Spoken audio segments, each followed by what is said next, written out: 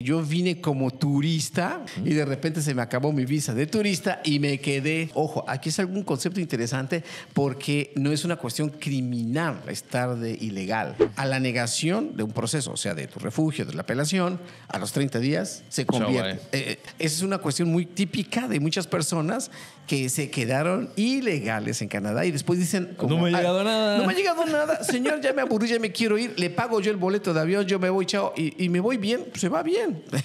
se va bien con una deportación. Y usted, si estuvo como estudiante y después pidió refugio cuando lo agarraron y se quedó aquí en Canadá, ¿por qué usted me demuestra que aún necesita la protección? ¿Cómo están amigos? Sean todos ustedes bienvenidos a un nuevo episodio más de este podcast en el cual el día de hoy vamos a tomar un tema bastante, bastante interesante, bastante en boga, bastante de moda ahorita, que es el tema de estar de ilegal en este país. A ver, vamos a empezar con las preguntas. Vamos a empezar con las preguntas porque ese es un tema que está calientito ahorita en este país. ¿Cuáles son las principales razones por las que una persona podría encontrarse en situación ilegal en Canadá? Bien, hay varias razones por las cuales una persona se puede encontrar en una situación ilegal.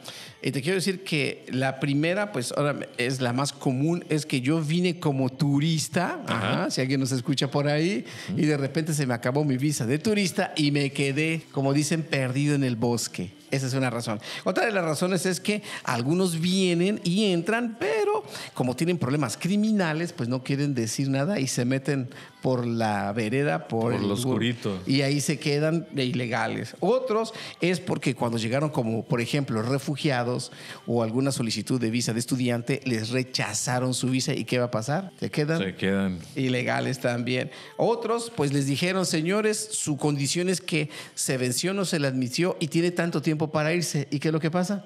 No se, Se van, se quedan, ¿ok? O también los que están eh, haciendo algún tipo de fraude con inmigración, porque tú sabes que ha existido y yo creo que va a existir todavía gente que de alguna manera se las arregla para tener un documento falso y entrar a Canadá. Y una Ok. vez que entran, se quedan de ilegales Ah, como un pasaporte falso o algo documentos falsos. Sí, Y bueno, además, cada vez es más difícil con la tecnología, pero bueno, esas son las razones por las cuales las personas se quedan aquí ilegales, Luis. ¿Cuáles serían las posibles consecuencias legales y personales para alguien que esté en una situación ilegal en este país? En primer lugar, sabes muy bien que la ley de inmigración de Canadá y de muchos países dice, pues no tiene que usted estar sin estatuto. La consecuencia es que, pues, es- va a tener co- consecuencias eh, administrativas. Ojo, aquí es algún concepto interesante porque no es una cuestión criminal estar de ilegal. Entonces, muchas de las personas que a veces dicen, "Ah, es que no me han dicho nada, eh, es que soy de refugiado y no me han avisado. Señor, usted sabe que todos los refugiados a los 30 días de que le dijeron no, se debió haber ido. Y automáticamente, vea o no el aviso, ah, eh, la persona ya tiene una infracción y la infracción es una orden ya de expulsión. Oye, oye, pero el otro día estabas diciendo que me estabas diciendo porque a ellos no les había llegado la orden de expulsión. Eh, bueno, eh, legalmente la ley no cambia. El artículo 224 de la ley dice Sí. claramente que a la negación de un proceso, o sea, de tu refugio, de la apelación, a los 30 días se convierte. Eh, eso no se cambia nada. Esa es una cuestión muy típica de muchas personas que se quedaron ilegales en Canadá y después dicen... como, No me ha "Ah, llegado nada". No me ha llegado nada. Señor, ya me aburrí, ya me quiero ir. Le pago yo el boleto de avión, yo me voy, chao. Y, y me voy bien, se va bien. se va bien con una deportación. A las, lo que yo he dado los, a las personas que son clientes, les digo, mire, vea la hoja que va a firmar de expulsión. Si firmó en la tercera línea, dice en inglés, no puede fallar, deportation order.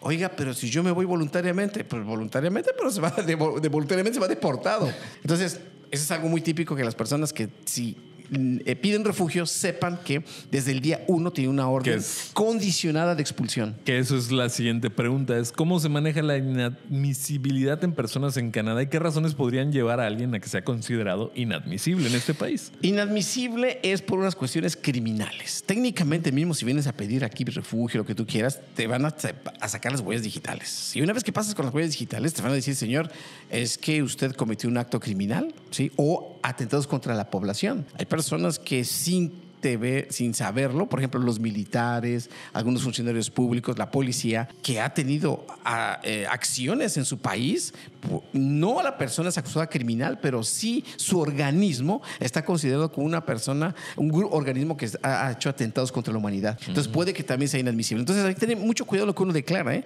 cuando tú llegas y dónde trabajó, qué lo que hizo, para ver si eres una persona o admisible o inadmisible. Pero sobre todo por la cuestión criminal, que es lo más principal. Hay otra inadmisibilidad que se llama médica, pero es cuando pides sobre todo la residencia, que va a ser muy costoso al sistema de salud. Nada, no hay residencia. ¿Y cuáles son las opciones disponibles para alguien que está en situación ilegal en Canadá y quiere regularizar su estatus? ¿Es esto posible siquiera? Eh, mira, es una belleza de este país y yo te digo de una vez, y voy a tratar de explicar cuáles son, digamos, las ventanillas o las funciones de cada quien. Ahora, no es porque quiero ofender a los agentes de frontera ni a, los border, sino que le voy a decir que solamente es una persona de control. Imagínese un policía en un banco, ¿ok? Entonces, cuando tú llegas a un banco, hay un policía que tiene la pistola y que va a respetar el reglamento. Un policía no te va a evaluar en el banco tu tarjeta de crédito. Ni te va a decir, a ver, ¿será que le acepto o no su, su solicitud? No. Simplemente hace el control. Solamente dice, señor, pásele a la ventanilla 1. El banco cierra a las 5 de la tarde, así es que apúrele, porque si son las 5, yo lo saco. Yo soy la autoridad y tengo pistola. Digamos que es un agente de frontera. Esa es una, eh, digamos, es una, es, es, una agencia. No es la migra, ¿eh? pero tiene que respetar las leyes de inmigración. La otra autoridad que también es independiente, que es un tribunal independiente, que es la Comisión de Refugio. No es el de frontera, no es inmigración, pero es el que va a decir solo tu caso sobre la situación, si eres una persona a proteger o eres una persona según la Convención de Refugio y te creen. Pues credibilidad. Nada que ver, porque muchos se mezclan. Y, ah, es que porque yo trabajé, no trabajé, porque hablé el idioma. No, no, eso no tiene nada que ver en la Comisión de Refugio. Y la tercera es la cuestión de inmigración. Inmigración no tiene nada que ver con la Comisión de Refugio, no tiene nada que ver con la Agencia de Frontera. Inmigración es totalmente independiente. Te comentaba esto, qué recursos hay, porque si tú veniste, si te quedaste ilegal, es el de agente de frontera que te va a andar buscando. Inmigración nunca te va a buscar. No es su papel. El papel de inmigración es estudiar las solicitudes. Y te quiero decir que en Canadá, el estudiar las solicitudes de alguien ilegal no es un problema para estudiarlas. Inmigración, la belleza de este país, es que te da la oportunidad de estudiar tu solicitud de inmigración mismo si tienes una orden de arresto o mismo si tienes una orden de expulsión. Esa es una cuestión aparte. Entonces, en eh, muchas ocasiones, mismo si tiene que salir la persona o lo expulsan, sus trámites que hacen al interior, normalmente la única opción que tienes es, como el que te dije al principio del ejemplo, que era el que se casó. Ajá. Que no por ahí. Otra. No, no, sí. O, o, la cuestión de consideración humanitaria. Humanitarian Compassion Grounds. Es decir, que expliques por qué razón tú es imposible que te envíen a tu país de regreso. Entonces, si el gobierno se convence de que principalmente la economía, tú tienes ya un buen arraigo financiero, tienes una empresa, tienes un negocio, tienes unos, un, cochinito ahí que tienes unas inversiones, o mejor, tienes una casita que compraste, ya le dices, señor, estoy arraigado. Oiga, pero esto estoy ilegal. ¿Cómo lo hizo para sobrevivir? Ah, le puedes decir al oficial, trabaje de manera ilegal.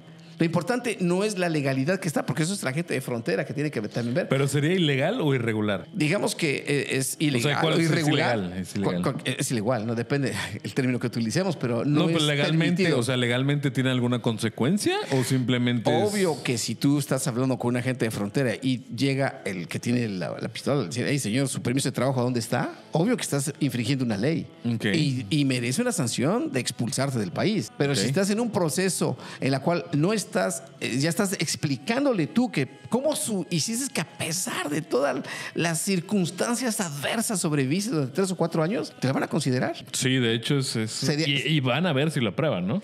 Es muy probable que se apruebe, pero ahorita es cuestión política también, pero ya hay una intención seria en que todos los organismos comunitarios están siendo consultados para ver a quién le vamos a dar la. Es el que tiene una prueba, que estuvo cinco años, tres años, dos años, a modo de que digamos, usted es admisible para eso. Pero si alguien está aquí, guarde sus pruebas de ilegal y aguántese hasta que salga este reglamento o si le llega el amor. Eso, si le llega el amor. ¿Cuáles son algunas historias de éxito de personas que han regularizado el estatus después de estar en situación ilegal en Canadá?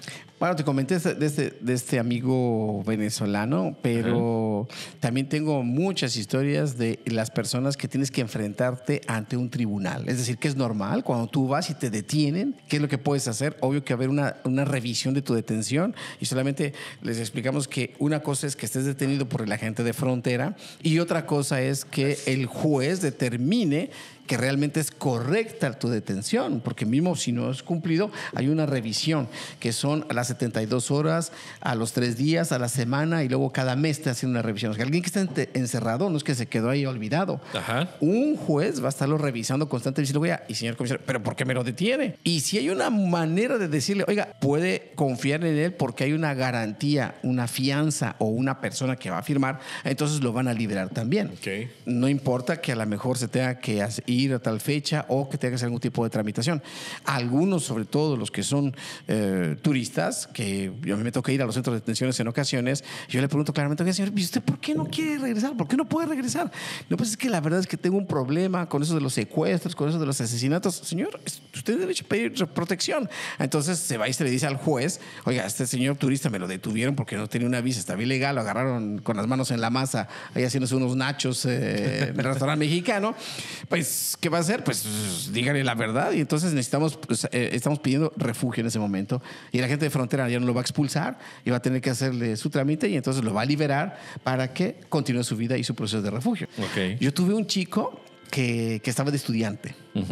Y me, yo fui al, ante el comisario y decía, oiga, ¿y usted por qué lo agarraron? Después de varios años, porque no pudo pagar la matrícula, dijo, pidió refugio. Y al pedir refugio, y fuimos a la audiencia, dice, oiga, y usted, si estuvo como estudiante y después pidió refugio cuando lo agarraron y se quedó aquí en Canadá, ¿por qué usted me demuestra que aún necesita la protección?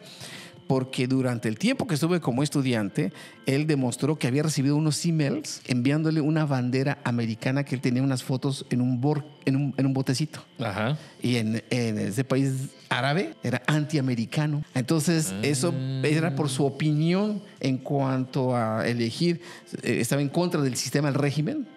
De hecho, hay algunos países que ni siquiera la ropa americana puede usar. Exactamente. Entonces dijo, y mire, tengo un email que me enviaron, por eso yo, yo dejé de estudiar y todo. Entonces se estableció su credibilidad y su audiencia la ganó. Qué chido. Señor Hernández, ¿dónde lo pueden encontrar? Si alguien quiere una asesoría, si alguien está en un proceso migratorio, si alguien es su sueño venir a Canadá, ¿dónde pueden encontrar? O si está ilegal también. O si está ilegal. Claramente, sí. Bien, en este caso, pues eh, puede entrar a nuestra página de SEI Canadá, donde tenemos varias opciones, sea en la cuestión de eh, una evaluación preliminar, que no tiene costo, o una evaluación express, o una consulta con un servidor. Depende del presupuesto que tenga. Sus redes sociales. Eh, ¿Cómo está en Facebook? En Facebook también, eh, de SEI Canadá, en YouTube y en Instagram. Excelente. A mí me encuentran en todos lados si quieren ver copitos de nieve y cosas relacionadas con este bellísimo país llamado Canadá, pues vayan a seguirme como Canadá desde dentro en todos lados. Jesús, muchas gracias por estos consejos y nos estamos viendo en la próxima. Cuídense. Besitos. Bye.